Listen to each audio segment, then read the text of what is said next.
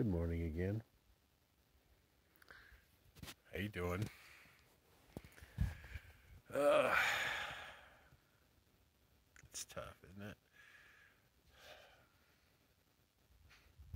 Like just hi.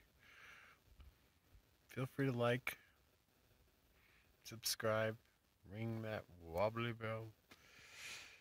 Oh, the energy, right? I feel drained, but it's a good thing. It's not bad. I was thinking about this the other day, and I was having like a fitful night, and this was a couple nights ago, and it was like on the edge of my subconscious. The this the it's almost like the things that weigh you down, the past traumas, the things that you've blocked out, you've kept hidden, and it's right. It was right there on the tip, and I couldn't. I just couldn't grab hold of it and examine it. And it was just, and it was fleeting and and then I just realized I was doing, I was still doing spiritual surgery on myself, my my soul, my spirit, and my nose is starting to itch, which is indication that's the a truth.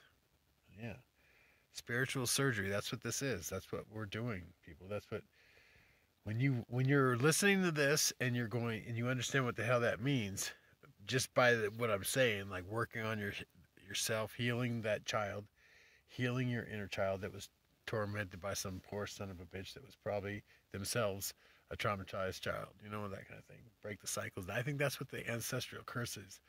when they talk about that, basically it's just healing the, the childhood traumas brought on by past generations of bad behavior and, and repeated it.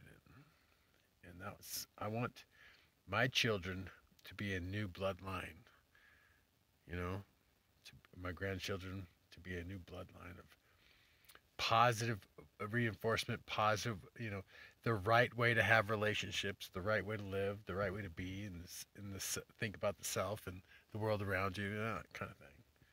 A positive bloodline where there's no, you know, curses and ancestral garbage and you're dragging along and passing on some poor child that doesn't deserve that shit, right?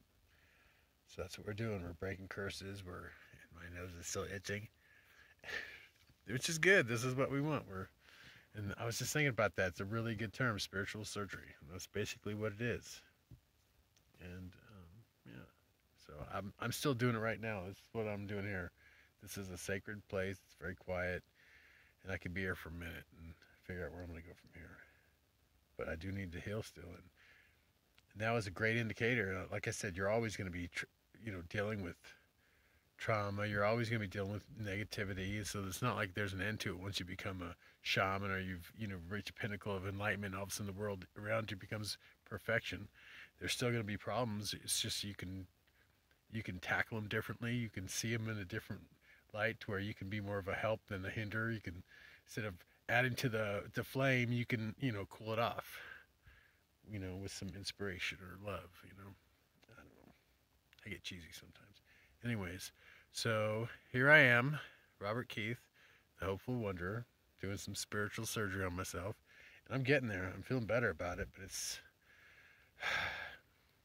yeah, that thorn is elusive. Time you grab it, it kind of like tries to dig in deeper, you know. So work on yourself, love yourself, and I'll do the same, and we'll, you know, we'll get there.